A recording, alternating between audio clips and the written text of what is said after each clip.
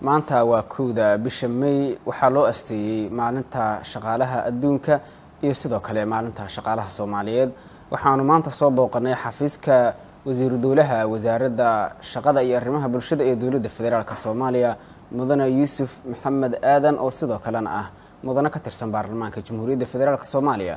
Waxaan ka wareysan doonaa wasiirka maxay tahay ahmiyadda maalintan loogu asteeyey in la xuso maalinta shaqaalaha adduunka iyo maalinta shaqaalaha soomaaliyeed duruufaha ay shaqaalaha soomaaliyeed wajahayaan iyo howlaha ay wasaaraddu waddo ee lagu horumarinayo shaqaalaha xuquuqdooda lagu ilaalinayo sidoo kale lagu jaangooynayo siyaasaadkooda darajooyinka iyo xuquuqaha ay leeyihiin.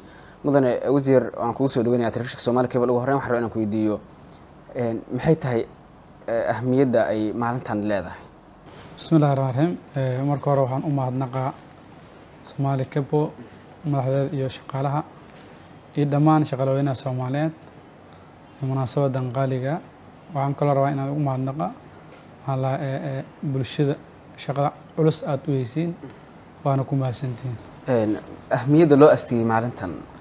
Runtii maalintan waa kowda may waa maalin weyn waaye shaqalweynaha soomaaliyeed waa maalin caalami waaye saad ka warqabtiin maala maalintan waxay ka soo bilaabatay marxalada soo mara saad ka warqabti maala xilli waxaa jiray oo warshidaha la oran jiray maala oo nineteen centurieska qarniga toban sagaalaad waxay ahaayeen shaqaalaha waxay ku shaqayn jireen maalintii o dhan.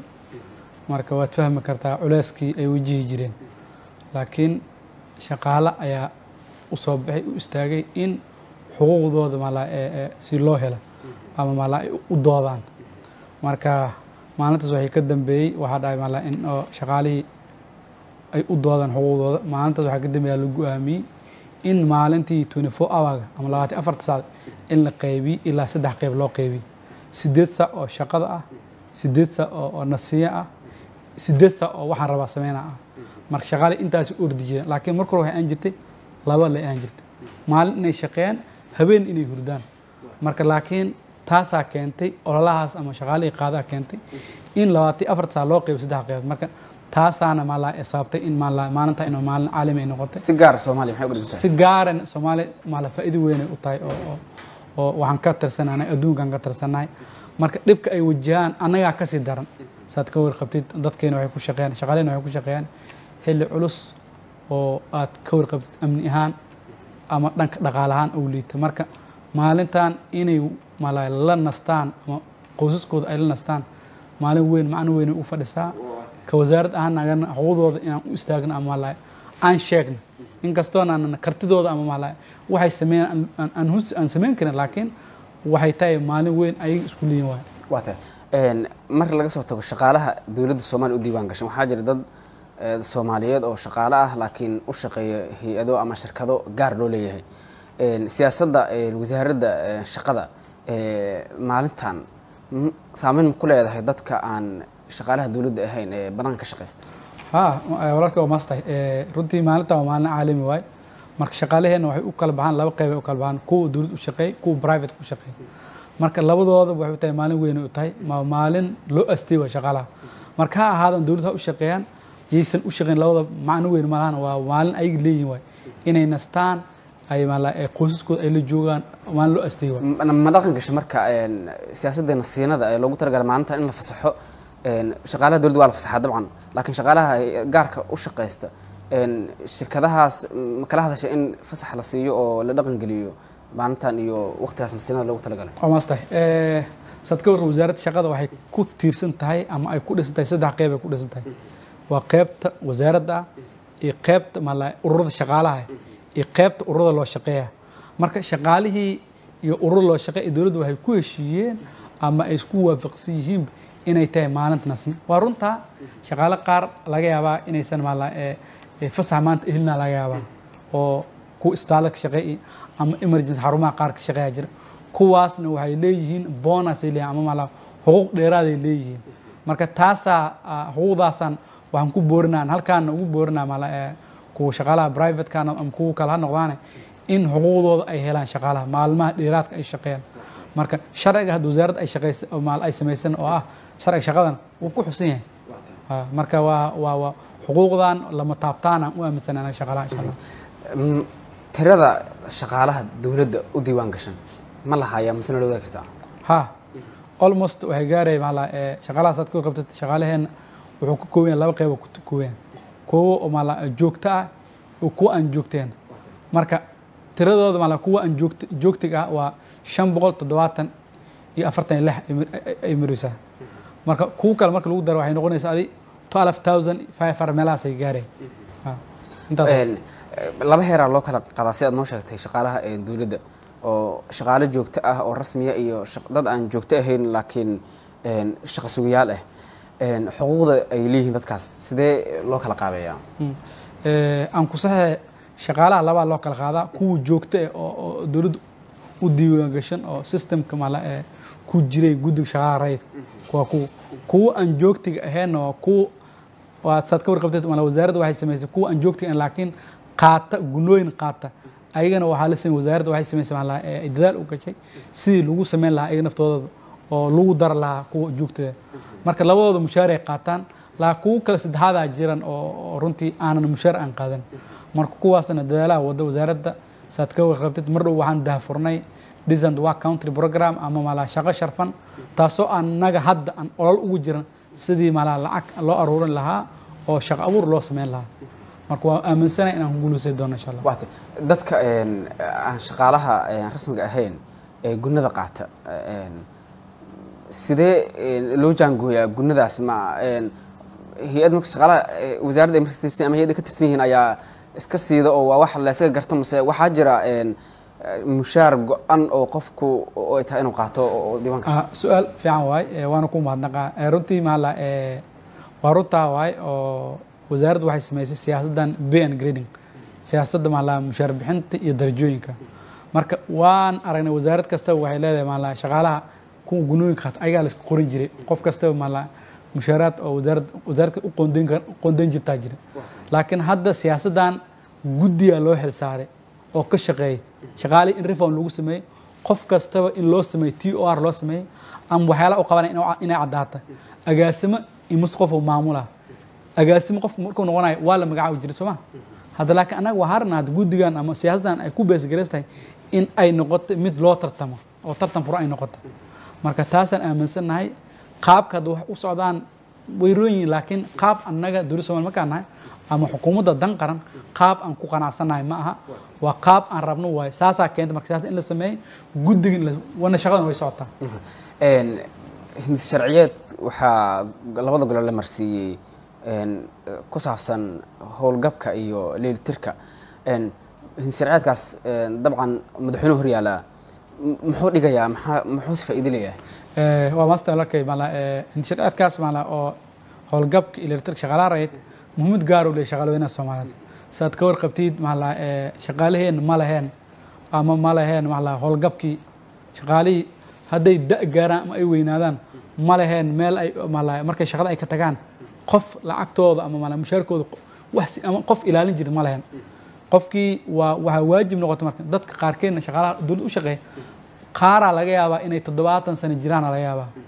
Oo aanan mala shaqadana kama bixi karaan oo hadday ka baxaanna qof lacag siinaysa malaan marka taasaa keentay wasaaradda inay il gaara ay isku saarta shaqaalihii da-da howlgabka gaare oo ah lixdan shan sano kuwa gaare inay u samayso sharcigan oo howlgabka. Marka sharcigan wuxuu faa'iido u leeyahay wuxuu dhisi doonaa mar haddii madaxweynaha jamhuuriyadda federaalk soomaaliya doctor xasan sheekh uu- saxiixo wuxuu dhisi doonaa hay'adda howlgabka u dhisi doonaa. Mar dhowna inaan dhisnaa noo qorshaysna oo sanadkan gudihiisa mar hay'addaas daan dhisna waxay noqona marka shaqaalihii malaa da-da gaareen inay helaan mushaarkooda. Mushaarkooda markaan leeyahay waa boqolkii toddobaatan ay heli doonaan. Ma aha mushaarkooda buuxo. Marka toddobaatankaas wuxuu u sahli doonaa in shaqaalihii aysan shaqada imaan dadka howlgabka gaarin inay shaqada imaanin lacagtoodana toddobaatan ay qaataan marka waa fursad weyn u tahay faa'iido weyn way u tahay. Intii lagu tuuri lahaa dustbin oo mala qof intaan san waddankan u soo shaqeeyay haddana markuu da gaarin aanan laga warqaban waa eebay nagu tahay. Marka taasaa keentay in shaqaalaheena mala aan diirad aan saarna sidii sharcigaan ku meelmari lahaa. Waan u mahadnaqaa labada golo baarlamaanka waa tahay shaqaalaha dowladda soomaaliya caqabado badan ay ay- ay la kulmaan. Maxaa ka mid a ood noogu sheegi kartaa duruufaha ay wajahaan? Ah, duruufaha shaqaaleyna ay ku shaqeeyaan runtii ma aha mid la qiyaasi kara Eh, duruufahoodan ay ku shaqeeyaan oo xaaladda oo waddankan aad ka warqabtid intaan sanan lagu jirin dudhiska ama qeybka ay ka hayaan ayagaan lafdhawr waa runtii inta la soo gaaro saad ka warqabtid meel amnigooda aad- ogtahay iska liid oo qarax meelkaas ay ka dhacaan ayagana kow ay ku yihiin xarumihii dowladda aanan ahayn kuwa maala amnigooda naftooda aanan hagaagsanin ay ku shaqeyn. Oo meeqaa qof oo maala shaqaalaha ka mid ah xarumaha dowladda ay ku natahay meeqaa qof oo ku naf waaya meeqaa qof hadda dhaawaca marka dhibka ugu badan waddanka uu ku dhaca waa ayaga qayb ka ah. Runtii maala mana mana aha kuwa maana la soo koobi kara marka kuwa qaaraa jira hadda maala oo ku naf waaya indhaha noqdaan. Kuwa qaaraa jira maala agoon ay ilmaha jira maala oo waalidkooda agoomiyaa jira marka dhibkooda aad u fara badan dhibaatada ugu weyn waxay ka wajahaan dhinaca mushaaraadka. Mushaarka marka hore iska yaraay haddana shaqaaluhu inta badan waxaa la arkaa ayagoo ka cabanaya in aysan qaadan xuquuqdii xuquuqdii waktigii loogu talagalay. Marka qaarna aanba la siinba. Dhibaatooyinka noocaasa ee hay'adaha dowladda ka dhex jira uh, war ma ka haysan idinka Eh, walaalka waa maasta insha allah. Eh, runtii maala su'aashan horta maala eh, su'aal oo annaga sal iraad toona aan lahayn waay. Xukuumaddan dan qaran inta ay shaqaynaysa iyo dadka ka xukuumad ka horeysaba waxay ahaayeen xukuumaddeena waxay ku guuleysatay in mushaaroodka shaqaalaha rayidka ay helaan si joogto ah. Intaysan bishi dhamaan. Marka tan maala sal iraadna ma lahan. Wax dhibaato oo maala dhanka mushaaraadka ay qabaan ma lahan. Xuquuqda way qaataan. Inkastoo aan ognahay mushaarka ay istaahilaan iyo xaalad ay ku shaqeyn isma lahan. Oo waa fahmi karnaa mala ee maciishida nolosha oo nafta arir ay tahay marka taas waa ogsannahay laakiin inta loo qorsheeyey ama mala ee ka wasa- ka dowlad ahaan aan awoodno maaha mid laga la xagrada ama la daahiyey ama dib loo dhigo insha allah heerarka mushaaraadka ay qaataan ma waxaa lagu jaangooyaa qofka xirfadiisa ma waxaa lagu jaangooyaa shahaadada uu wato sidee loo kala maareeyaa shaqaalaha iyo mushaarkooda iyo darajooyinkooda? Ah, waa maastay su'aashan mala su'aashii hore ay la mid ahayd oo qaabka mala shaqaalaha iyo darajooyin u kala baxaan annaga marka hore ma lehen waxay ahayn darajaha keliya afar ay ahayn a b c d ay ahayn. Laakiin markaan dejinay siyaasaddan bay and grading ilaa waxay gaartay ilaa g ay gaartay. Marka waxaan aaminsannahay qaabka hadda wax u socdaan ma fiicno laakiin qaab waxay ahayd aan ku soo mudneed laakiin hadda waxaan u socnaa qaab waxaan kuu sheegay inay noqoto mid tartan furan aqoon ku dhisan karti ku dhisan. Marka guddigaana ku howlan shaqadaasna way socotaa waana arki doonaa waana shaqaalaha hadda qofka ugu mushaar yar wuxuu qaata ma noo sheegi kartaa? Wuxuu qaataa almost baan la ee boqol iyo laba boqol meelahaas oo qaataa. Eh, qof ugu mushaar yar. Een, waxaa jira mudane waxaad noo sheegtay inaysan jirin hadda eh, eh, mushaar daaha ama eh, shaqaale mushaar ka maqan yahay sidii aad eh, u timaadeen eh, xu- eh, xukunka. Marka qaar ku takrifal awoodada ka dhaca hay'adaha dowladda. Een, waxaad arkaysaa qof mas'uula oo soo rogaya amar ah in shaqaalihii xafiiskaas uu madaxda ka ahaayay. Bishaan meel kale loo wiciyay oo aysan wax xuquuq qaadan doonin. Dhibaatadaas ay shaqaalaha la kulmaan ma ka warqabtaan sidees ula falgashaa markii ay soo baxaan caqabadaha noocaas waa maastay runtii maala kuma dhihi karo oo oo maala ku takrifal awoodid ama abuse of power. Ma dhicis kuma dhihi kara meel kastaba oo qalaada way dhici karaan oo one two three laakiin wixii wasaaradda soo gaara qalaada wasaaradda soo gaala waxaa u degsan sharciga maala ee law number eleven oo sharciga shaqaalaha reed kaasaa lagu dhaqaa ee xuquuqdoodana annaga hal maalin ma ogolin kamana gorgortana maala sidii sharci u qabaan ku dhaqanaa Ah, wax qofka shaqaalaha ah xorriyaad uu u madax bannaan yahay oo uusan shaqadiisa caqabad aysan uga imaan karin ma jira markii uu shaqaale dowladeed yahay ha waa sharciga shaqadana wuu sheegi doonaa oo hadda golaha baarlamaanka horyaala waan aaminsanahay inuu wax badan ka bedeli doono. Marka shaqaalaha ma xuquuqay leeyihiin oo buuxay leeyihiin. Inkastoo wax kastoo mala waddankeena lid ku ah ama horumarkiisa ka soo horjeedana inaysan ku dhaqmi karin. Laakiin wax kasto waa waa way banaan shaqaalaha haddii uu xadidina qofka shaqaalaha haddii uu aragti ka duwan siyaasadda waddanka markaas lagu xukumaayo uu yeesho ma ma caqabad ay ku noqon doontaa inuu shaqadiisa uu ku waayo? Shaqadiisa wato? ma. Waa qofka isku aragta dadka maba noqon karaan. Saad ka hor qof qof waliba dhinaca wax u arkaa. Marka qofna laguma maala laguma xujubo ama laguma maala lagu araqladee ama laguma qasbo in aragtida hal mid inay noqoto. Marka taasna annaga waan aaminsannahay in kala aragtiwanaanshaha waxay ka mid tahay caafimaadkay qayb noogu tahay. Marka insha allah.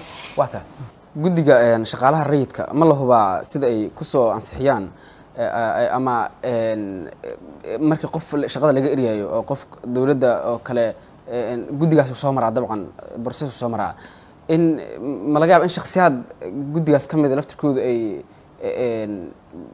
ku takrifalaan in qofkaas shaqadiisii uu waayo. Sideese loo korjoogtaya waa maste runtii maala guddiga shaqaalaha rayidka waxay ku dhaqmaan sharciga shaqa- shaqaalaha ay ku dhaqaan lownaba elevenka waana guddi runtii aan ku dhihi kara boqolkiiba boqol guddi hufan waay oo oo aanan lahayn wax musuq maasuq tixraac.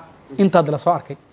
Way dhici kartaa qof bini aadan qof aan ku dhihi kara ma lahan. Boqolkiiba oo waa ceeb ku salim qof. Laakiin intaan ka warqabno waa guddiga sagaashan sagaal boqolkiiba waxaan ku dhihi karaa guddi nadiif ah. Waxoodan waxay u xalistaan ama ay ku beesgareeyaan ama ku saleeyaan sharciga low number eleven marka guddi aan guddi waxaan aaminsanahay boqolkiiba inaysan sameynin wax musuq maasuq ama of power guddi ka ceeb salim waa hadda dowladda shaqaale ma qaadataa runtii waa maastahay maala dowladda soomaaliya hadda shaqaalaha hadda kuwii system ku jiray aa la rabaa in la- habeeyo marka kuwaas adoon u sameynin t o r iyo maala qofkas karakteriis iyo shaqadii shahaadada u wata iyo adoon intaa la sameynin dowladda soomaaliya shaqaale inay qaadato marka. Marka intaana la rabaa in la habeeyo laakiin way noo qorshaysan tahay in shaqaale la qaata waddankaysaa ka warqabtid maala boqolkii toddobaatan shan waa dhalinyaro waay marka in fursado shaqa loo abuuro wax naga go-an waay. Saad ka warqabtid malaa haddaa xasuustid labada kun labaatan may twenty twenty sevenka madaxweynaha jamhuuriyadda federaalk soomaaliya wuxuu la kulmay waxa ugu horreya dhalinyaradeed marka dowladda soomaaliya way fahamsan tahay inay yihiin dhalinyaro lafdhabar baahi weynna ay u qabaan dhanka shaqada. Oo oo oo- oo wax yar waxaa jira malaa gaabis. Marka way naga go-an tahay inaan abuurno fursad shaqo abuur. Hadda waxaa jira wasaaradda ay daafurtay barnaamij lahay malaa decent work country program ama malaa shaqo sharfan. Marka dadaal badanaan wa- wadnaa in la sameeyo shaqo abuur fursad la sameeyo. Laakiin haddadan aan kula hadlahay guddigaas wuxuu ku hoolan yahay ben grading si malaa intaada noo shaqays sida loo sameeyo loo habeen lahaa. Wa- wa- waa tahay. Waxaa jira een, dhalinyaro een, jaamacadaha dalka ka soo sanad walba een, kumanaanay gaaraan intooda badan xaafadahay joogaan. Laakiin waxaa jira dad wasiiro ama xildhibaano dowladda ugu jira la soo xiriira. Xildhibaanku inta soo wada qofkii uu xafiis wasaarista hor istaajiyo leeyahay wasiir igala wareeg ninkan ayadoon wax bajada loo haynin shaqo loo haynin transportation xataa uusan qofkii aan loo haynin dhibaato noocaa ay hay'adaha dowladda ku qabaan dhalinyarada xildhibaanku inta keeno looga dhex tago wasaaradda isagoo dhex taagan oo aan wax xuquuqa la haysan. Runtii horta waa su'aal fiican waay. Wax hadda annaga la daalaa dhicin waay. Saad ka warqabtid maala waddankeena wuxuu noqday maala four point five ayaa soo ragaadiyey ama maala culeys ku hay marka qofkii wuxuu aaminsan yahay in qof maala shaqadii maala qof lagu heli kara taasina ma jirto way jiraan dhibaatada maala qofka qofka waxaa loo sameyn karaa in kaar loo sameeyo ama maala shaqadii uu iska fahmo. Inkastoo reformka markii la sameeyey ayaan arki doonaa shaqaalihii maala in la kala qaado oo waxyihii maala ay noqdaan kuwa hadda naftooda shaqeeya. Because aad ka warqabtid dhismaha ay ka shaqeeyaan shaqaalaha ay ku shaqeeyaan meelaha ay ku shaqeeyaan ma aha meel hadda qalabaysan ama sidii la rabo maaha marka kuwii joogaaba xaaladooda aan qiyaasinan kuwa kale marka wasaaradda wasaaradaha dhibaatay ku tahay Eh, waana waa dhibaato jirto waay oo oo aan dhihi aan- aanan inkiri karin waay. Laakiin ka wasaaradda shaqada waxay u qorshaysan tahay in fursadihii shaqada la- lamana laga shaqeeyo oo haddana ay ka olan tahay. Maal aan ku dhahay programka ku dhahay shaqo sharfan. Marka shaqooyinkiina waxay noqon doonaan kuwa ku beesgaraysan ama loo tartamo marka arrimahaas way jiraan laakiin ma aha kuwa maala eh, xal noo noqon doona waxay noo noqon doontaa halkeena in qof kastaba capacitigiisa u dhisa aqoontiisa u dhisa dhanka luuqadaha oo kale xirfadahan in la barto. Macnaheed maaha fiiri dowladda soomaaliya shaqaalaha dhan dowladda soomaaliya uma shaqeyn karaan. Walaalkii waxaa rabta qof kastaba inuu raadi mala eh, ama mindsetkiisa uu ku beesgariyo xafiista anaa fadhiisanaatay waa wax shaqeynaya maaha marka fursadihii dowladda dhanka way yar yihiin. Marka waxaa raban qof inuu fikiro mala la abuuro mala xirfada la bartay ama mala skills dhankoo la iska dhisaan aan ku buurina. Wa- waa tahay waana dhib jirto insha allah dhibaato kale waxaa jirto in boosaska la kala gato oo qof shaqaale ka ah hay'addan in wasiir ama xildhibaan awoodda uu qof keeno kadib booskiisa uu gato oo qofkii hore u shaqeynaya booska laga saaro. Ma jirta arrintaas? Ma subxaan allah ma arkin. Haasha inta aan joognay inaan ka warqabin laga yaabaa? Ma intaas wax la mid noos ma u dhici waxayna system guddiga shaqaalaha rayida ka warhay guddiga aan ku sheegaya waay hufnaantooda aan ku dhahay boqolkiiba sagaashaalaga marka wax dhacaya ma aha. Wax dhacaya ma laha een, mar iyo laba mala kulanteen dhacdooyin noocaas? Mar iyo laba mala kulanteen maya inta aan Oo joogno marna marna ma arkin. Howshaas waxaa la mid guddiga oo malaa ka shaqeeyna malaa dhanka cabashooyinka. Si gaara ani u- malaa aan ka aan ka warqaba marka arrimahaas hal mar marna ma maqlin. Qofka raba een, qofka raba inuu dowladda soomaaliya u shaqeeyo ma waxaa ku qasban yahay inuu xildhibaan iyo wasiir soo maro mise waxaa jira criteria loo dejiyey oo qofku uu ay tahay inuu soo maro si uu shaqaale dowlad u noqdo? Waa maastay. Annaga dhibaatada aan qabna waa ka wareysa walaalkay maala four point five ku ahaa. Waa lagu dhaqmi jira laakiin xukuumaddan dan qaran annaga waxaa naga go-an arrimahan maa la leeyahay xildhibaanaa wat hebelaa wat horta kansal ay naga tahay guddigan hadda oo ka shaqeeya maala b angri siyaasaddan ka shaqeeya ayaa u xil saaran shaqaalihii joog inay kala qaadaan. Shaqooyinka ay hayaan naftooda kuwa hadda shaqeeya naftooda waxaa la rabaa in la dhejiyaa la rabaa oo ay noqotaan maala mid competent based ah ay noqoto. Marka waxaa waxay naga go-an tahay in waxayna ay noqdaan karti iyo hufnaan in shaqooyin lagu helaan naga go-an. Marna ma aaminsin marna nooma uma socono in mala eh, qof shaqaale ama xildhibaan ama wasiir inuu reex taas anaga wax oo mala jadwalkeena ku jirta maaha eh. mana ka shaqeynayna mana noo qorshaysan waxaa jira shaqaale u shaqeeya hay'ado caalamiya oo oo shisheeye marka laga kuwa dowladda soomaaliya u shaqeeya. Een, wasaaraddu een, sidee ula falgashaa hay'adaha caalamiga ah iyo dadka soomaaliyeed ee shaqaalaha ka ah? Ga- gaar ahaan amisom oo kale soomaaliya la shaqeysa. Marka qaar waxaan aragnaa dad tacadiyo ka cabanaya dumarka oo kale la- khasbo ama lagu shaqaaleysiiyo inay ee, lagu xadgudbo oo kale. Dhibaatooyinkaas sidee wasaaraddu og tahay maxaase ilaa hadda ah, laga qabtay? Waa master runtii maala wasaaraddu waxay magacooday guddi ay magacooday ama maala baarayaasha goobta shaqada. Oo gobolka banaadir afartiis qeybba dadaa u xil saaran. Oo taga xarumaha ha noqdaan kuwa maala eelboorada ha noqdaan ha noqdaan kuwa caafimaadka ha noqdaan maala waxbarashada. Marka goob kastana maala dadaa u xil oo runtii ka shaqeeya caqabadahana waxaa lagu xaliyaa heer degmo level lagu xaliyaa wixii degmo soo gudbana wasaaradda ayaa maala guddiga jir marka caqabado badanaa jiraan oo runtii maala aadan malaysan karin ha noqdaan maala xarumaha caafimaadka ha noqdaan dhanka waxbarashada ha noqdaan maala eelboorka marka caqabado badanaa jira maala ama mushaaraad ka noqdaan wax badanaa jira. Marka laakiin wasaaradda waxay ku xalisaa qaabka ugu habboonaa ay ku xalisaa waata waa ku- waa ku soo gongobinaya wasiir een, eh, barnaamijkan eh, decent work program oo dhowaan uu wasiirka eh, shaqada wasiirkan ka hore uu ku soo saxeexay Geneva eh, June haddii aanan qaldanay sanadka hore. Programkaas muxuu salka ku hayaa muxuu kabsan yahay runtii waa maastahay programkaas oo decent work ama shaqo sharfan wuxuu leeyahay malaa waddankan faa'iido weyn u leeyahay. Wuxuu xooga saaraa afar qeyb xooga saaraa. Number one in fursadaha shaqada la kordhiyo. Number two wuxuu xooga saaraa malaa ilaalinta dhanka shaqaalaha. Saad ka horta fiili shaqaalaheenna kuwa ka shaqeeya hadday xanuunsadaan ayaga isdaaweeye marka haddii mashruucaas ama program hadduu guuleysta waxay noqonaya qofka inay lahaadaan mala caafimaad inay u leeyihiin access oo ay aadi karaan. Tan kale mashruuca mala programka wuxuu ka saara ka mid mushaaraadka. Saad ka hor mushaaraad qaabka hadda mala lagu shaqeeya shaqaalaha ay ku shaqeeyaan ma aha kuwa mala ku habboon.